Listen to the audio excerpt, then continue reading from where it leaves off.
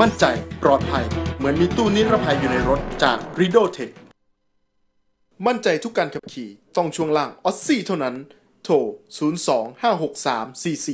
02-563-4455ถึง7วิชัย ECU Flat Dino King โทร 0916949441 ไปพร้อมคุณแนาน ต้อนรับคุณผู้ชมกลับมากับรายการนี้ Speed Talk ทาง Speed Channel ทุกช่อง691 นะครับผู้ชมสามารถติดต่อพวกเราได้ 2 ช่องทางครับ ที่หมายเลขโทรศัพท์ 025309496ถึง98 SMS 482 7772 พิมพ์4เว้นวรรคตามด้วยข้อความนะครับ ขอบคุณ DID ครับโซ่มอเตอร์ไซค์อันดับหนึ่งของของของโลก ขอบคุณวิชัย ECU Flat and Dino King ขอบคุณสีพรถยนต์การสลิดสูตรน้ำ90 ลาย ดีสำหรับรถดีสำหรับสิ่งแวดล้อมดีด้วยคุณภาพครับ มาเราเปิดรับสายนะครับ คุณผู้ชมที่มีปัญหาเรื่องรถ ก็สามารถโทรเข้ามาได้เลยนะครับ ช่วงคที่รับรอสายมาดูเรื่องราวของ SMS กันนะฮะอ่ามีคำถาม เดี๋ยวขอได้ฮะขอเพิ่มเติมนิดนึงครับ ว่าไม่ใช่ว่า Mercedes-Benz อย่างเดียวนะครับ อืม ถ้าเป็น Mercedes-Benz โทรเข้ามาในยหมูอืมนะเอาย่างๆหน่อยเออไม่ยี่ห้ออื่นก็ได้รถอะไรก็ได้จริงๆแล้วบอกแล้วอ่าโทรเข้ามาสดๆเขาบอกเครื่พี่องยนต์ค้าสอบถามหน่อยค่ะกลไกเบนอะไรซ์นะตัว SLK 200 R 171น่าใช้หรือเปล่าต้องซื้อปีไหนดี อะไรแพงเปล่าของเขาดีเขาเสียด้วยตัดสินใจซื้อแล้วครับอ้าวซื้อแล้วเหรอจะตัดสินใจอ๋อซื้อ จะตัดสินใจซื้อซื้อไปเลยครับ ตัว 171 นี่ก็คือหน้า F1 อืมหน้า F1 เนี่ยก็คือเป็นรถที่แต่งสวย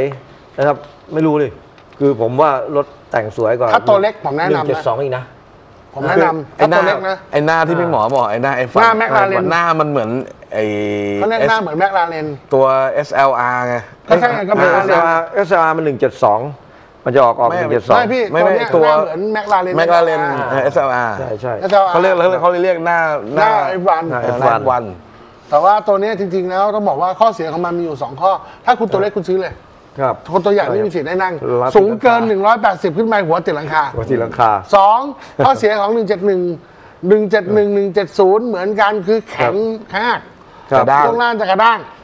แน่นอนฮะแล้วก็หลังคาก็จะก๊อบแก๊บก๊อบแก๊บหน่อย อันนี้ก็ต้องทำใจนะครับ คงไม่มีอะไรมากกว่านี้ เพราะแต่ว่า วันนี้คุณพระโรสเตอร์คาราล้านกว่าบาทนะต้น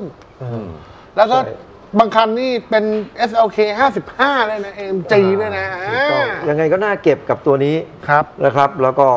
ในเรื่องของการดูแลมันทนั้น ก็เปลี่ยนน้ำมันเครื่องเปลี่ยนของเหลวตามสเปคเขาครับ แค่นั้นเองครับไม่มีอะไร อืมดูแลสูตรพี่หมอง่ายเลยนะฮะตรงนี้ก็คือรถทุกค่ายทุกยี่ห้อมองหน้าปัดไว้ไม่เสียตังค์เยอะ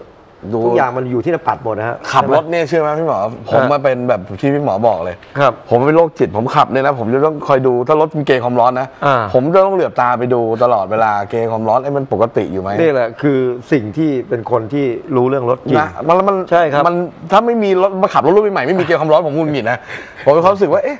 มันไม่ได้บอกอะไรเราเลยถึงสถานะเครื่องยนต์ใช่ไหม ครับ ใช่ฮะ ไอ้รุ่นใหม่ๆนี่คือร้อนแล้วมันถึงจะมีเสียงเตือนขึ้นมาอ่า ไม่ทันแล้วตอนนั้นคือฮีทต้องจอดแล้ว ครับตรงนี้ต้องสังเกตสังการนิดนึงขับรถรับสายคุณบอยครับ สวัสดีครับคุณบอยครับ ฮัลโหลเออสวัสดีครับ ครับ เออจะขอสอบถามนะครับ จะอยากได้ Fortuner ปีสักศูนย์ห้าศูนย์แปดเห็นราคาไม่สูงดี เออขอคำวิจารณ์หน่อยครับ ว่ามันพอยังพอใช้ได้อยู่หรือเปล่าครับ f o r t u n e r ตัวแรกว่างั้นเถตัวอะแรก ผมซื้อดีเซลฟังหลังเบนซิน ไม่ครับไม่แล้วเราจะเอาเบนซินหรือดีเซลฮะ เอาดีเซลครับดีเซลดีเซลก็ต้องเป็นขับมีสี่งบเท่าไหร่ครับ เออมีงบประมาณห้ากลางๆประมาณเนี้ยครับห้ากลางกลางห้ากลางได้ได้อยู่นะศูนย์ห้าศูนย์หกได้อยู่ คือถ้าได้ชุดสุดถ้ากลางๆเนี่ยมันจะได้โฉมแรกดีเซล4 wheel full time ครับ นะ แต่ถ้าขยับขึ้นมาอีกนิดนึง ถ้าไม่ได้คิดว่าจะใช้4 wheel อาจจะได้โฉมสองหน้ายักษ์ปีตอนปีต่อมา แต่ว่าได้ขับสอง อ๋อแต่จริงๆผมเชียร์ให้ให้เอาตัวขับสองเพราะอะไรไหมถูกตัวแรกมันมีปัญหาเรื่องระบบเบรกใช่เบรกมันจะทื่ต้องมาอเติม ๆถ้าไม่เซียน ต้องต้องไปทถ้าไม่เซียน ใช่ ถ้าไม่เซียนอย่าไปใช้ำอืมขับแล้วแนะมันนำไม่เล่นตัวสองขับสองหน้ายักษ์ครับพอขยับมาเป็นโฉมสองปุ๊บมันจะปรับเขาปเรียรุกงโฉมเรื่องสมาร์ทปรับปรุงเรื่องระบบเบรโอ้กโหเบรกมาจานเบลเลอร์ อ่านี่ใหญ่ใหญ่สุดเลยนะได้ใหญ่กว่าแชมป์ใหญ่อีกเขาอะไรเป็นปัญหาอะไรไหมครับขับสองอะไรนะฮะ ถ้าถ้าขึ้นเขาขึ้นอะไรขับสองไม่มีปัญหาอะไรไหถ้ามควิ่รังบถนนที่เป็นปูนขึ้นเขาต่อยขึ้นมีถนนไม่มีปัญหาครัถนนดำลาดยางแล้วเนี่ยขึ้นได้แน่นอน ยกเว้นเป็นเส้นทางออฟโรดเนี่ยถึงทางต้องฝุ่นใช้ขับสี่อ่าอ่าแล้วเป็นทางฝุ่นเนี่ยโอเคต้องใช้ขับโฟร์พี่ได้ใช้มาล่ะรถคันนี้พี่วางไว้จะใช้งานยังไงอะ เออก็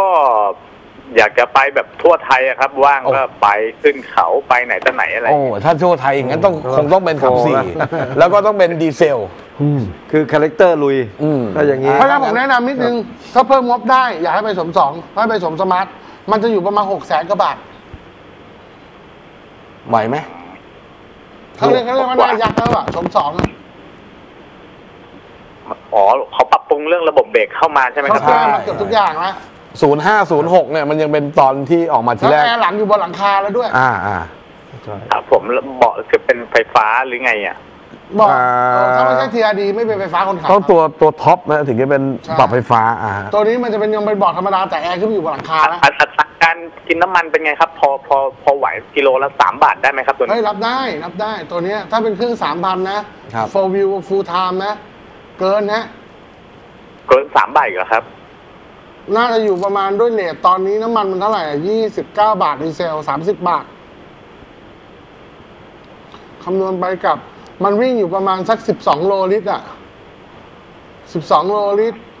เขาเทียบเท่าไหร่อะสองสองโลสิลิบตรสองโลลิตร โลละ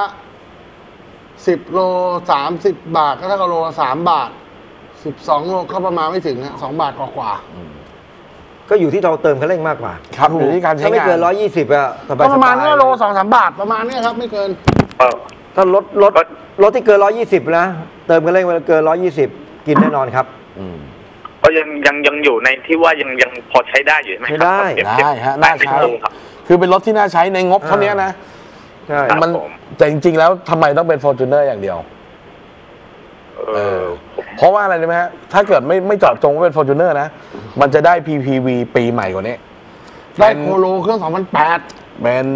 เทอร์เบเซอร์เครื่อง 2008 เทเบอร์เซอร์ครับปาเจโร่สปอร์ต Pajero Sport มันจะได้ปีขึ้นมาใหม่กว่า 4 5 3 4 ปี 4 5 ปีเลยนะอืมจะไปเล่นได้พวกโฉมถ้าปี มีตังค์5 6แสนนี่ปาเจโร่สปอร์ตกับตัวสุดท้ายแล้วนะใช่ปี 10 กว่านี่เลยนะโฉมที่แล้วอะเออ ตัวสุดท้ายแล้วนะใช่ แล้วถ้าเกิดเป็นเทอร์เบเซอร์นี่ก็ปีประมาณ 1 0 1ก็ก็10กว่าเหมือนกันอืม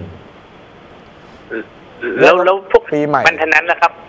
กลัวกลัวในเรื่องของค่าอะไหล่ค่ายอื่นมันจะรุนแรงกว่าไม่อะไรประมาณ ไม่หนีกันหรอกครับ ไม่หนีกันแต่ว่าใกล้ถ้าการเคียซ่งอมกันบำรุงเที่ยวทั่วไทยโตต้าได้เปรียบ ครับ แล้วอีกอย่างโตต้าของเล่นเยอะกว่า ที่ไหนก็ซ่อมได้แล้วบ้านปลายมากแล้วชีวิตจะไปอ่า ของรถก็ขายได้ราคาอันนั้น Fortuner อันนั้นจริง ถูกป่ะ ถ้าถ้ามองระยะยาวเรื่องราคามือสองนะครับโตต้าราคาดีที่สุด ไม่แล้วของเล่นเป็นเยอะ คุณจะไปเปลี่ยนอะไรมีทุกชิ้น สน็อกกง snorkel เอาจะไปวิ่งทั่วไทยว่าจะเอาเป็นยกคันสุดท้ายแล้วครับเพราะหมดมาเยอะแล้วหลายอ๋อจะเอาแบบใช้ยาวเอางั้นงั้นฟอร์จูเนอ Fortuner ร์ครับอ่าโฉมสองเครื่องดีเซลไปเลย ไม่มีหรอกคันสุดท้ายอะพูดผู้ชายพูดอย่างนี้มาหลายคนแล้วใช่เดี๋ยวเอาไว้อีกหน่เอาไว้อยใช้ยาวขอบคุณมากนะครับครับผมครับผมติดตามทุกวันเลยขอบคุณมากโอ้คขอบรัคุณบแต่ผมใช้อยู่นะ คุณบอยผมบอกว่ามันเป็นรถคันหนึ่งที่คุ้มเงินมากนะคุ้มค่ามากนะ เป็นรถที่ผมใช้แล้วผมใช้บ่อยไอ้ที่มันคุ้มค่าของพี่นี่โบ๊ลูทกเนี่ยลูกก็โตหมดแล้วไม่ไปกับเราแล้ว ผมก็จะไปกันสองคนแล้วครับอืมแล้วเที่ยวท่องเที่ยวแต่วันนี้แล้วก็ทำให้สวยนะ ใส่ไอรอนแมนใส่เต็นท์นะ มีออนนิ่งนะจะไปไหนก็ได้ นอนข้างบนกับนอนไม่ต้องไปง้อแล้วรีก็สอร์ทเปลี่ยนโชว์เปลี่ยนช่วงล่างไอรอนแมนฟูลเซ็ตนะ เดี๋ยวมาทำที่อู่สปีดกระดาษก็ได้ แล้วก็ใส่เต็นท์ออนนิ่งข้างบนจะไปนอนกับเมียที่ไหนก็ได้สบายครับค่อยๆเก็บสะสมไปเพิ่มทีละชิ้นทีละชิ้นไป โอเคครับ โอเคขอบคุณมากเอคยางรับ ยางสดๆสักสี่เส้น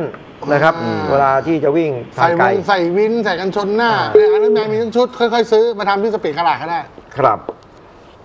อะก็คิดว่าเลือกถูกแล้วครับ ตรงนี้ ไม่มีหรอกครั้งสุดท้ายอะคนเรา ไม่มีเนอะไม่ใช่ผู้ชาย นี่ผมเชียร์เพราะว่าถ้าไม่เจาะจง Fortuner เนี่ยครับยี่ ห้ออื่นมันได้ปีใหม่กว่านี้มันปีสิบกว่าเลยไงไม่แต่นี่เขากะใช้ยาวเป็นสิบปีอ่าเพราะฉะนั้นโอเคเขาก็คุ้มก็เป็นแต่ Fortuner ถามจริงว่ามันเป็นรถที่มันคุ้มจริงนะ ผมใช้จนแบบพี่โบ๊ทมันคุ้มเพราะว่าของพี่โบ๊ทมันเป็นเบนซิน 2.7เบนซินติดแก๊สแล้วเป็นโฉมแรกที่ตัวเดียวที่มีขับ4อ่าพอฉัดจากตัวโฉมต่อไปก็ไม่ไม่ทำแล้ว ตัวเบนซินไม่ทำขับ4แล้วเป็นขับครับ2ของพี่โบ๊ทเนี่ยเป็นตัวแรกที่เป็น 2.7 ขับ4หาไม่มีแล้วมันหาไม่ได้แล้วไงแล้วมันติดแก๊สปุ๊บ ไปไหนไปกันเลย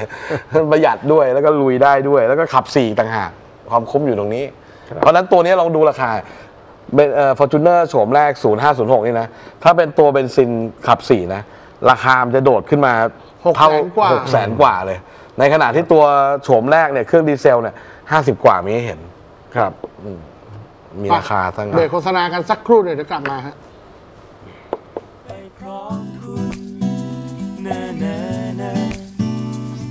now.